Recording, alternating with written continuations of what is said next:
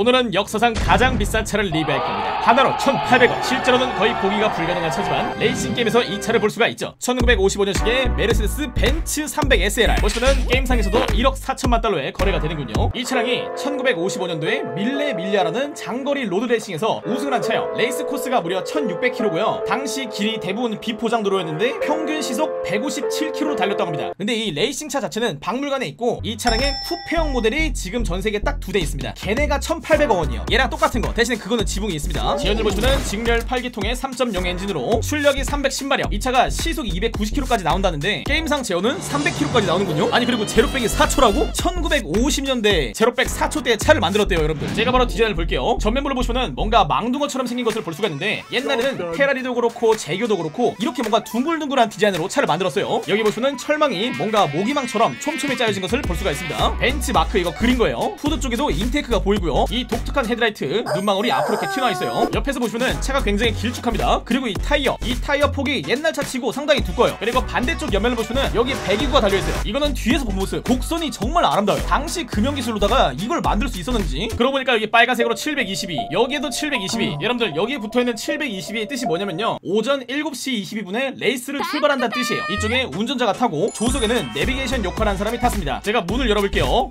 아하 문짝이 이렇게 열리네요.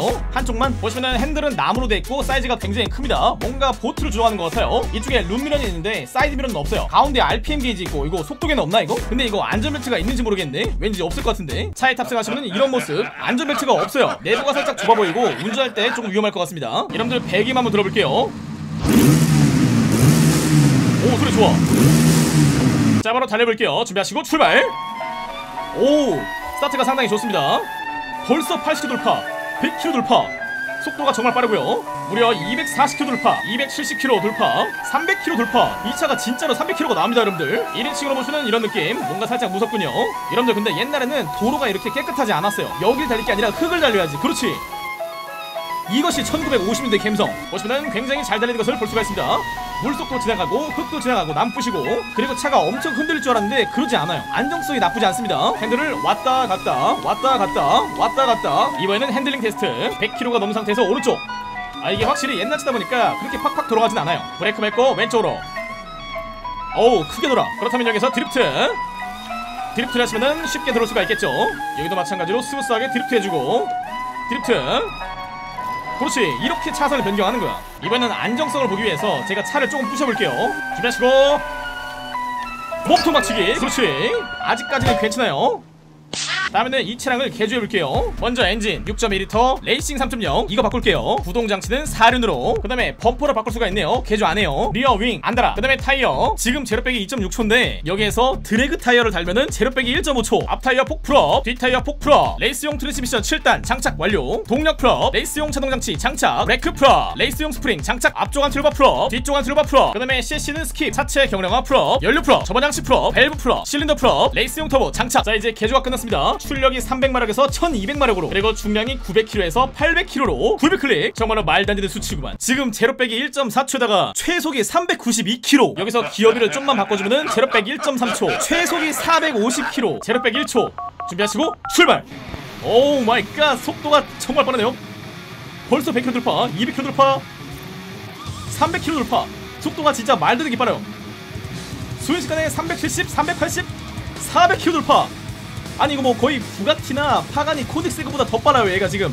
440 지금 가로등 불빛이 뭔가 굉장히 빨리 지나가네요.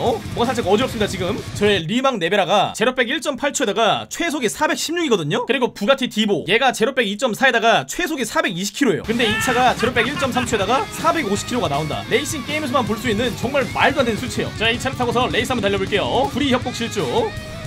출발 스트. 오 스타트부터 굉장히 빨라요 순식간에 1등으로 시작. oh my god 대신에 핸들링이 살짝 안 좋을 수도 있어요. 제가 드래그 타이어를 껴가지고 핸들링이 안 좋은 것은 직발로 커버를 한다. 그리고 벽을 부시면서 달리면 돼요.